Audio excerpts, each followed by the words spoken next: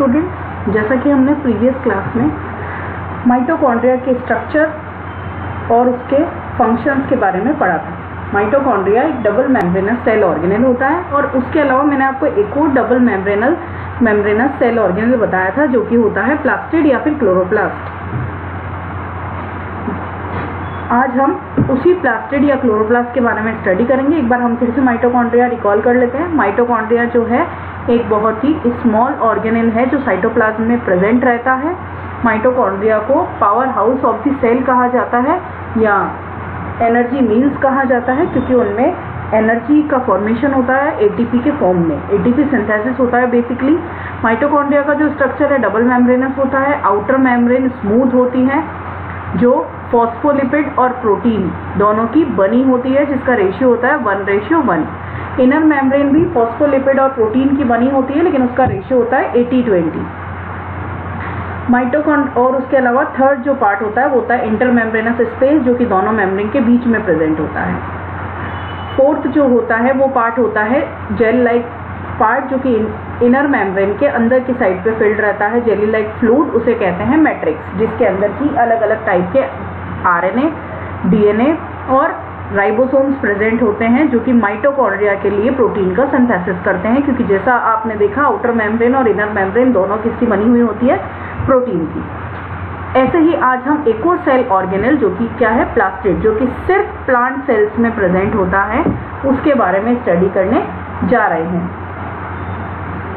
Animal cell में जो है प्लास्टिड क्या है? एबसेंट रहते हैं। तो आज हम देखते हैं प्लास्टिड्स क्या होते हैं। Plastids are double membrane organelle, which are found in the cells of plants and algae. Plastids जो होते हैं, मैंने आपको पहले भी बताया कि डबल मेम्ब्रेन स्ट्रक्चर होते हैं और किसकी सेल्स में प्रेजेंट होते हैं? प्लांट्स और एल्गी की सेल्स में। Plastids are responsible for the manufacturing और स्टोरिंग और फ़ूड प्लास्टिड जो होते हैं, वो फ़ूड के मैन्युफैक्चर में और स्टोरेशन में हेल्प करते हैं। These often contain pigments that are used in photosynthesis and different types of pigments that can change the color of the cell.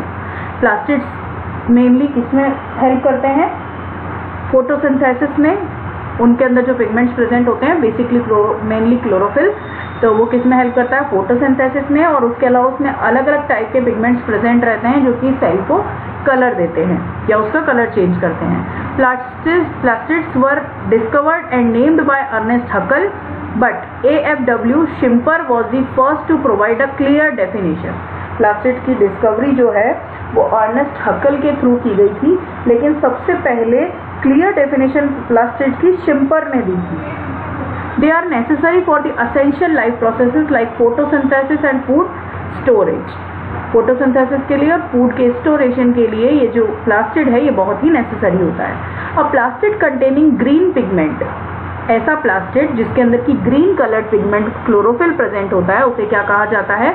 Chloroplast और ऐसा प्लास्टिड जिसके अंदर other than green pigment present रहते हैं, जैसे रेड येलो वो क्या कहलाते हैं? Chromoplast A plastid that lacks pigments is called a leucoplast and is evolved, involved mainly in food storage. यानी तीन टाइप के मेन प्लास्टिड होते हैं, जो ग्रीन कलर का पिगमेंट प्रोवाइड कराते हैं, वो होते हैं क्लोरोफिल जो अदर देन ग्रीन प्रोवाइड कराते हैं, वो होते हैं क्रोमोप्लास्ट या वो होते हैं क्लोरोप्लास्ट वो होते हैं क्रोमोप्लास्ट और वो जिनके अंदर पिगमेंट्स ही नहीं होते, वो होते हैं ल्यूकोप्लास्ट तो और क्लोरोफिल का जो मेन फ़ंक्शन है, वो होता है एनर्जी को ट्रैप करना फोटोसिंथेसिस के लिए या फिर लीव्स को ग्रीन कलर देना। क्रोमोप्लास्ट या क्रोम के अंदर क्रोमोफिल पिगमेंट प्रेजेंट होता है, जिसका की काम होता है प्लांट के अदर अलग अलग पार्ट्स को कलर देना। और ल्यूकोप्लास्ट का जो मेन फ़ंक्शन क्योंकि उनके अंदर पिगमेंट प्रेजेंट नहीं है तो उनका मेन फ़ंक्शन होता है फ़ूड का स्टोरेशन करना। अब हम देखते हैं एक फ्लो चार्ट यह प्लास्टिड प्लास्टिड के टाइप्स देखने हैं हमें। क्रोमोप्लास्ट क्लोरोप्लास्ट और ल्यूकोप्लास्ट अब ये जो ल्यूकोप्लास्ट है, यही तीन टाइप का होता है. एमाइलोप्लास्ट इलियोप्लास्ट और प्रोटीनोप्लास्ट और ये एक और टाइप के प्लास्टिड्स और प्रेजेंट रहते हैं, जिन्हें कहते हैं इटियोप्लास्ट अब इनके सबके फ़ंक्शंस और इनके सबका शेप्स आपको दिख रहा है. Etioplast crystalline prolamellar bodies precursor और क्लोरोफिल ये जो इटियोप्लास्ट है, ये क्लोरोफिल का प्रीकर्सर है, यानी इसी इटियोप्लास्ट से क्लोरोफिल का सिंथेसिस होता है। Chromoplast pigment synthesis and storage ये क्रोमोप्लास्ट क्या करते हैं? पिगमेंट का synthesis other than green pigment का सिंथेसिस और स्टोरेशन करते हैं। क्लोरोप्लास्ट फोटोसिंथेसिस और लिपिड सिंथेसिस में हेल्प करते हैं। Leucoplast synthesis of fatty acid and amino acid amyloplast storage of starch and sugar amylo word जो है वो कार्बोहाइड्रेट के लिए बेसिकली यूज़ होता है। तो स्टार्च और शुगर क्या है? टाइप ऑफ़ कार्बोहाइड्रेट तो ये एमाइलो जैसा भी अपन ने पढ़ा था कि क्लोरोप्लास्ट का जो फ़ंक्शन है, या प्लास्टिड का जो फ़ंक्शन है, वो स्टोरेशन करना भी होता है प्लास्टिड का फ़ंक्शन तो प्लास्टिड जो है, उसका एक टाइप है एमाइलोप्लास्ट जो कि स्टार्च और शुगर का स्टोरेशन करता है। इलियोप्लास्ट लिपिड और ऑयल्स का स्टोरेशन करता है। Proteinoplast site of enzyme activity है। यानी यहाँ पे एंजाइम जो है वो फॉर्म होते हैं बेसिकली क्योंकि एंजाइम भी किससे बने होते हैं? प्रोटीन से। और ये एंजाइम की अदर एक्टिविटीज़ में भी हेल्प करते हैं। अब देखते हैं first type chloroplast the chloroplast are probably the most known of the plastid main जो प्लास्टिड के बारे में हम पढ़ते हैं, वो कौन सा होता है? क्लोरोप्लास्ट किसमें प्रेजेंट होता है? सिर्फ़ प्लांट सेल्स में और उन्हें फोटोसिंथेसिस जो कि उनका फ़ूड फॉर्मेशन प्रोसीजर है, उसमें हेल्प करता है। तो क्लोरोप्लास्ट क्या करते हैं? फोटोसिंथेसिस में एनर्जी को ट्रैप करने के लिए फोटोसिंथेसिस के अंदर क्लोरोप्लास्ट की रिक्वायरमेंट होती है। These are responsible for photosynthesis the chloroplast is filled with thylakoid, which is where photosynthesis occur, and chlorophyll remains. Chloroplast के अंदर थाइलेकॉइड्स प्रेजेंट होते हैं। अभी आगे अपन जब स्ट्रक्चर पढ़ेंगे तो देखेंगे थाइलेकॉइड क्या होते हैं। थाइलेकॉइड्स प्रेजेंट होते हैं, वो क्या करते हैं? फोटोसिंथेसिस उन्हीं के अंदर होता है। फोटोसिंथेसिस का जो प्रोसीजर है, वो क्लोरोप्लास्ट के या थाइलेकॉइड्स में ही होता है।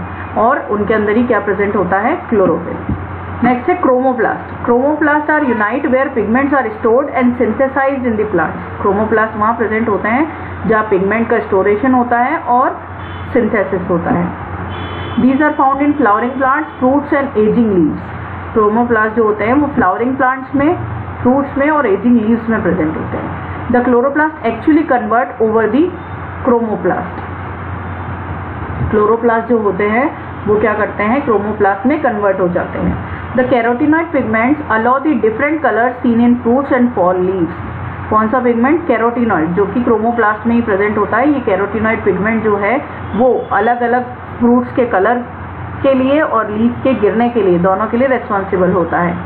One of the main reason of these structures and the colour is to attract pollinators जो फ्लावर्स होते हैं, वो अलग अलग कलर के क्यों प्रेजेंट होते हैं? क्योंकि उन्हें क्या करना होता है? पॉलिनेटर्स को अट्रैक्ट करना होता है। पॉलिनेटर्स मतलब पॉलिनेशन होता है कि पॉलन ग्रेन जो कि एक प्लांट के मेल पार्ट पर फॉर्म होते हैं। उन्हें कहाँ पहुँचना होता है?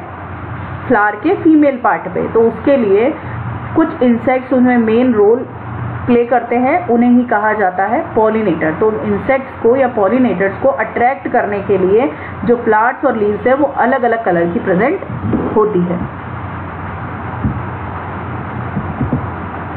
नेक्स्ट पिगमेंट है geron gerontoplast gerontoplast are basically chloroplast that are going through ageing process वो क्लोरोप्लास्ट जो कि मतलब है तो ये क्लोरोप्लास्ट का ही टाइप लेकिन जो कि एजिंग प्रोसीजर से गुजर रहा हो, वो chloroplast these are chloroplast of the leaves that are beginning to convert into different organelles and are being repurposed since the leaf is no longer utilizing photosynthesis. ऐसी लीफ जिसके अंदर की अब फोटोसिंथेसिस नहीं होने वाला एजिंग आ चुकी है उनके अंदर, उनका बिल्टिंग प्रोसेस उनके अंदर होने वाला है।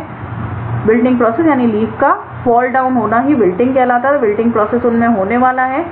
और इस टाइम पे क्लोरोप्लास्ट क्या कहलाते हैं?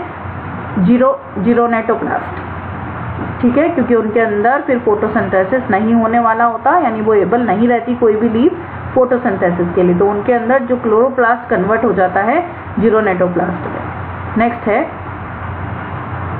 ल्यूकोप्लास्ट ल्यूकोप्लास्ट के बारे में अपन ने पढ़ा कि ऐसे प्लास्टिक जिनके अंदर की कोई भी पिगमेंट प्रेजेंट नहीं होता, वो होते हैं leucoplast leucoplast are non pigmented organelles they are found in non photosynthetic parts of plant such as roots ये ऐसे पिगमेंट्स ऐसे प्लास्टिड्स होते हैं जो कि नॉन फोटोसिंथेटिक पार्ट्स जैसे कि रूट्स में प्रेजेंट होते हैं, क्योंकि इनके अंदर कोई पिगमेंट प्रेजेंट होता ही नहीं है।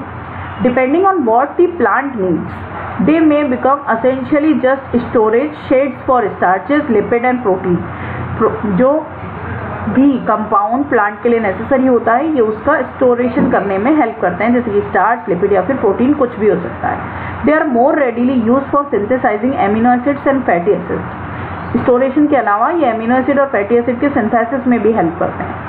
A leucoplast may be an amyloplast that stores starch, an ileoplast stores fat and a proteinoplast stores protein.